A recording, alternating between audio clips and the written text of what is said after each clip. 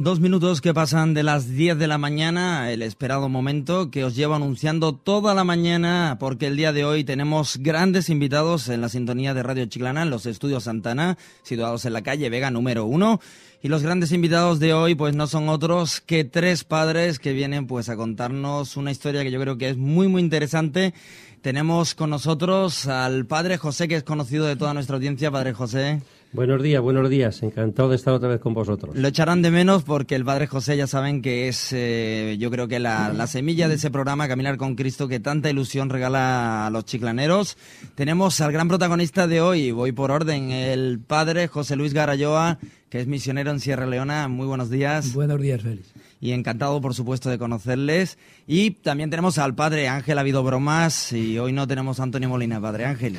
Bueno, no pasa nada, lo importante es estar aquí y ser un poco plataforma para el Día de las Misiones, que es la oportunidad que diaria, anualmente nos concedéis. Efectivamente, porque lo que nos trae aquí el día de hoy es, como bien dice el Padre Ángel, es el Día de las Misiones de los Agustinos Recoletos. Ya saben todos ustedes que se celebra en, en todas las iglesias que los padres agustinos tienen aquí en nuestra localidad Chiclana Frontera.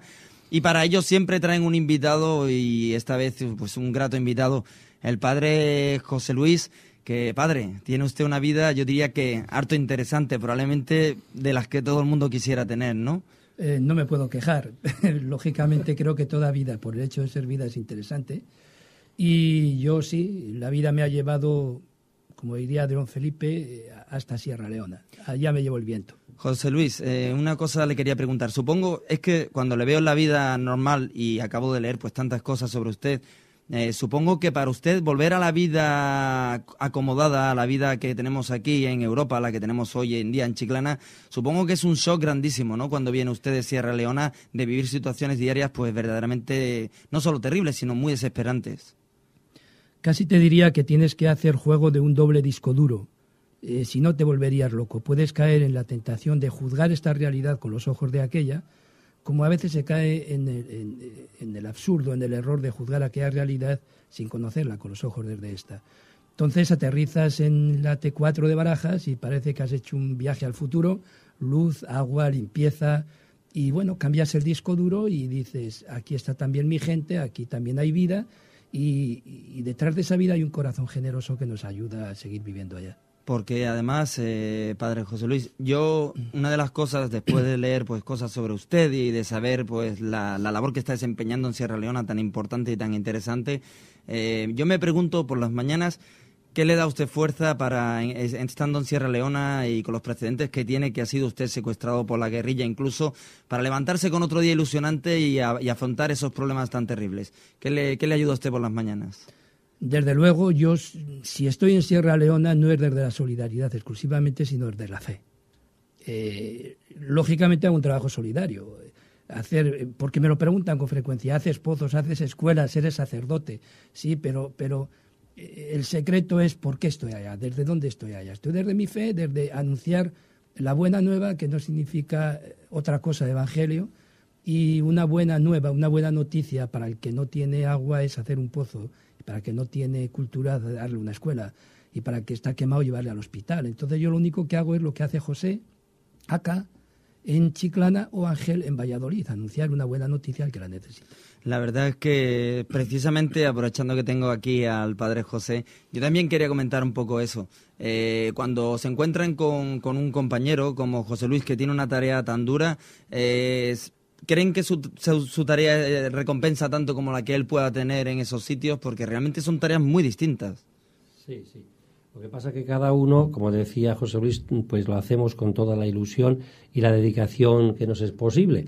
Es decir, que en el fondo, pues siempre lo que prima es la persona y según las circunstancias en que vive, pues hay que comunicarle esa buena noticia de un modo diferente pero en esencia digamos que somos siempre los mismos y ofrecemos eh, digamos las cosas en sí que coinciden también una buena noticia la ayuda la cercanía la solidaridad y después desde luego lo que da sentido a nuestra vida que queremos que desde nuestra fe la buena noticia del evangelio. Lo mismo aquí que en cualquier otro lugar. Por eso estamos siempre dispuestos e ilusionados ahí donde nos donde haga falta Padre José Luis, eh, una, antes me he referido a que estuvo usted eh, incluso secuestrado por la guerrilla. Fue un poco como su toma de contacto además con, Sierra Leona porque fue llegar y prácticamente cuando se recuperaba de una enfermedad pues eh, fue usted secuestrado. ¿Cómo fue esa experiencia? Supongo que muy dura, ¿no? Mm, fue un día muy especial, me hicieron un bonito regalo como estamos acostumbrados a hacerlo en el Día del Amor y la Amistad. A mí a las ocho y cuarto de la mañana del día 14 de febrero del 98 me arrastraron de la cama en canzoncillos. Creí que me iban a matar allá mismo, pero nos querían usar de escudos humanos para parar la intervención extranjera o de Naciones Unidas que decían ellos, que les tiraba del poder a los rebeldes. Entonces, sí fue una experiencia mm, seria, una experiencia dura de vida, pero en ese momento comprendí que si era capaz de sufrir por lo que amaba es porque lo amaba. Eh, uno cuando ama es, el amor va un poquito más allá del gusto, no es me gusta o me gusta, o no me gusta, es eh, amo y soy capaz de sufrir por lo que amo. Entonces por eso volví. Porque realmente eh, la situación en Sierra Leona es una situación muy desesperada, la extrema pobreza y las desigualdades sociales han llevado a ese país a prácticamente una guerra perenne entre pequeñas guerrillas, eh, entre grupos políticos, es una cosa horrorosa quizás se me caliente demasiado la lengua, pero, pero el problema no está allá, el problema está aquí. En la desigualdad. Eh, que yo sé siempre dónde tengo mi trasero sentado. Y cuando ahí me secuestraron y me ponían de escudo humano, yo estaba sentado sobre armas europeas. Entonces, el, el país con menor índice de desarrollo del mundo, que no tenemos agua, corriente ni luz eléctrica en todo, y repito, todo el país, es el segundo productor mundial de diamantes. Produce rutilo que lo usan en transbordadores espaciales. ¿Y quién va al espacio hoy? Sin duda Son las paradojas que de dónde nace esa guerra. ¿A quién le interesa esa guerra? ¿Son malos, son crueles allá? No. A un cachorro le educas a pelear y pelea. Lo acaricias y te sigue y te lame. Eso es un niño. Dale un balón de fútbol y juega, dale una metralleta y mata.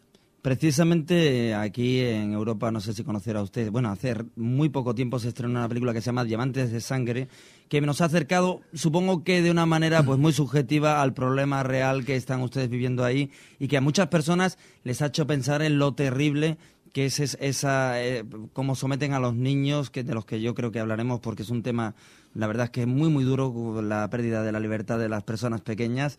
Y, que nos ha acercado de una manera pues a, esa pero es lo clásico realmente tienes un día de, afección de lo que has visto y luego inmediatamente se te olvida. Supongo que para usted el día a día no se puede olvidar. No se puede olvidar eh, vi esa película en España refleja bastante bien el ambiente de Sierra Leona y al que la ha visto mm, después de ver cómo vivían los rebeldes en los campamentos eh, que eran chavalitos decirles que con ellos estuve 14 días. Viendo cortar manos, viendo cortar cabezas, viendo abrir a personas, sacar el feto y pensando que, había llegado mi hora y, que, pidiéndole a Dios que me matasen de un tiro y no a machetazos. La verdad es que es la misión de una persona como usted que va a, priori siempre a entregar lo mejor que tiene a esas personas y verse violentado de esa manera usted en algún momento tiene que tener un momento de, debilidad de decir, pero vamos a ver, ¿qué hago yo en Sierra Leona pasando este rato por esta gente? ¿O, le aguanta suficiente el tipo como para decir, y sigo para adelante? Eh, me has dicho que eras de Pamplona. De Pamplona. Yo he corrido mucho el encierro. Todo el que lo corre, corre con miedo, pero el miedo paraliza o es activo y te hace correr. Eh, lo que pasa que puedes correr del toro, correr al encuentro del toro. Yo he corrido al encuentro de las personas a las que amaba y que prometí servir. Eh, miedo, todo el del mundo. Hombre, mis amigos en Pamplona me dicen, estás loco, ¿cómo puedes volver allá? ¿No tienes miedo? Digo, no, ya lo gasté todo en el secuestro. Dios da una capacidad de miedo y el mío se acabó. En 14 días he pasado todo el miedo del mundo.